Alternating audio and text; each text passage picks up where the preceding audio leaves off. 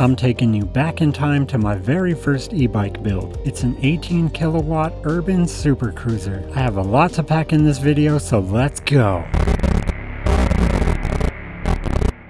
Now first off, I hate to do it, but I gotta hit you with that slideshow. I built this bike long before I ever thought I'd be making videos, and because of that, it's gotta be PowerPoint style, so welcome to my TED Talk. I was looking for this particular frame and I actually found it used on Craigslist. The frame is made by SICK and it is a fat tire cruiser with 7 speeds. This is a huge steel frame with tons of room for electronics. I had absolutely no idea what I was doing so I decided to get the biggest mid-drive motor I could find. My hands are actually pretty big and this is for scale. It's an 18 kilowatt motor made by Cyclone e-bikes. The motor alone weighs 24 pounds. At first I was looking at their 3 kilowatt, then I saw they had a 7.5 kilowatt and then then I found they had an 18 kilowatt motor. And more watts, more better, right? And I was already running into trouble on the first step. I had to make a tool to remove the bottom bracket. It was basically welded shut. After many, many attempts, I eventually took a torch to it and that was finally what let it go. It's a good thing that this frame is so huge because I am definitely going to need the room.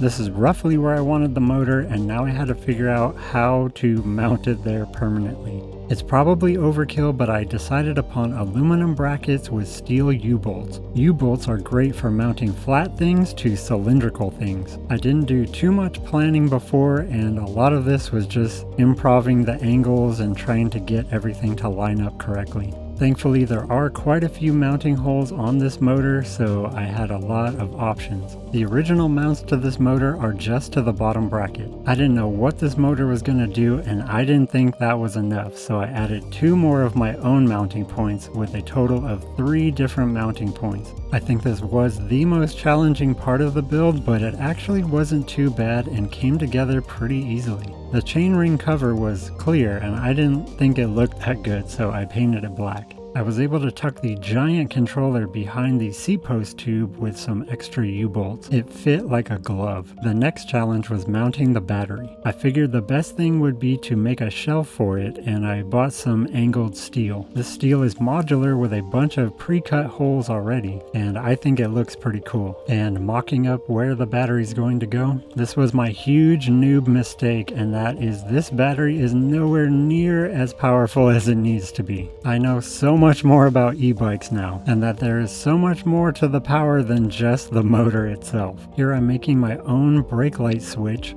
so when you squeeze the brakes, the rear brake light will turn on. This required modifying the handbrake and also making my own little brackets for it. I wanted this bike to have brake lights and turn signals, and here's wiring up some of the turn signals. I wanted a cool metal case to hold the battery, so I went with an army surplus ammo can. Here I'm just cutting a window for the battery meter LCD screen. And inside I'm installing the Hall sensor that's going to be able to read and display the battery voltage. And now I'm just trying to figure out how to hold down this case onto the shelf that I made. I'm bending two steel straps that are going to hold it down on either side. Yes, this is a lot of steel to an already very heavy bike and more U-bolts to mount the front headlight. I made my own switchback circuit by wiring two relays and a flasher together.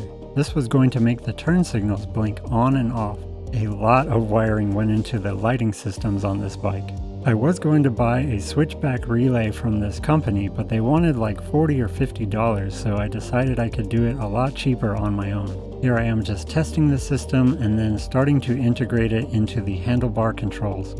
On the front forks, I installed some daytime running lights which also doubled as some turn signals. These LEDs were massively bright, and I found a nice little spot for the step-down converter to go from 72 volts to 12 volts. And of course more RGB strip lighting. This was back when I used those tiny little connectors and those suck, so now I just hardwire everything. And here's some shots where the LED strips lit up. At this point, I was pretty much ready to wire everything up and give it some test rides. Even with the fat tires and the extra weight, this bike was still really fast. My dad always tries out my creations and this was no exception. Here it is in its working state with everything fully functional. I think it looks cool even like this, but I wanted to make everything all black. I'm taking apart the charger because I wanted to permanently affix this to the bike. That way, all you need to do is carry a power cable if you wanted to charge it somewhere else or on a longer trip. So I installed some brackets and I also wanted to paint it black. And then I just basically painted everything black. It did look cool before, but I think the all black just gives it an even more aggressive look. I know it's hard to make a beach cruiser look aggressive, but with the chopper bars and how big it is, I, I think it actually looks pretty aggressive. After all the painting was done, the only things I had left to do was to finish up some wiring and then reassembled all of the painted components.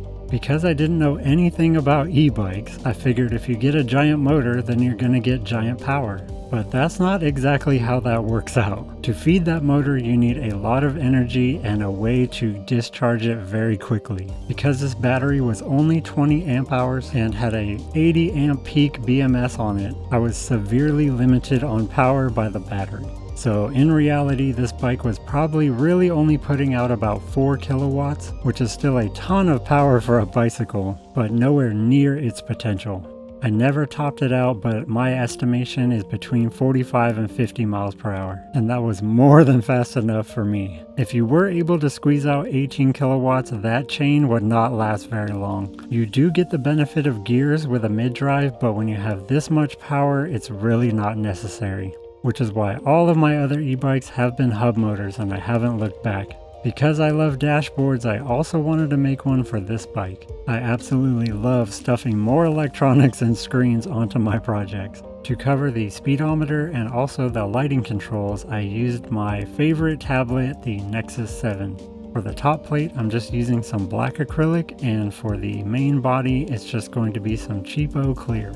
I'm also adding additional USB ports so that you could charge a phone or some other accessory while you're riding as well. I thought it came out pretty good and then I just had to figure out how I was going to mount it onto the handlebars. I just used some flat bar aluminum to mount that to the handlebars with some U-bolts and then I angled it so that you could read the display better. And here's the final finished build and I think it came out really cool. It's definitely unique. The all black with the fat tires, it just looks really industrial and I think it looks really cool. I learned a ton about e-bikes and electronics and what not to do next time. I also learned that rigid frames with no suspension going 40 miles per hour is not that comfortable. And after completing this bike, I already was on to wanting to build another one. One with a full suspension and a hub motor.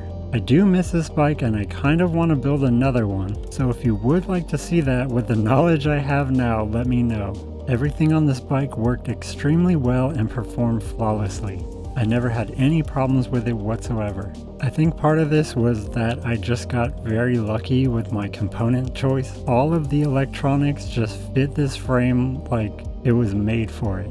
The fact that that controller was just small enough to fit in front of the rear tire, I mean, is just incredible, really. I was even able to fit that enormous circuit breaker right there. Trying to fit this all on a smaller frame would have just been really hard to do. The dashboard came out really cool. You could actually change the colors of the bike from the tablet. You had a huge digital readout for the speedometer. It just came out really cool. As good as this bike looks during the day, I think with all of the lighting I threw on it, it looks even cooler in the dark. All in all, I think it came out pretty good, especially considering this was my first ever e-bike build. I'm pretty sure before this it had been at least well over a decade since I had built a regular bicycle. I did manage to find one small snippet of video of doing a walk around in the dark so you can't really see much, but it's it's all I got.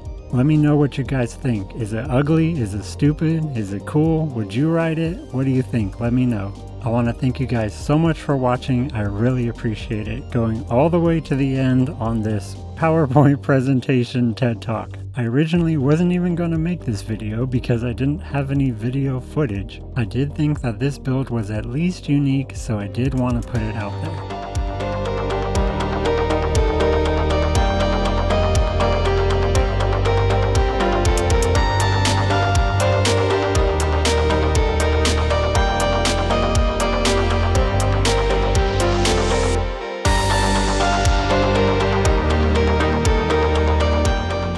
While this is not strictly an e-bike channel, there definitely will be more e-bike builds on this channel in the future. I'm customizing a regular ThinkPad X230 laptop and paying homage to one of the greatest cyberpunk movies of all time. Thank you guys so much for watching and I will see you in the next one.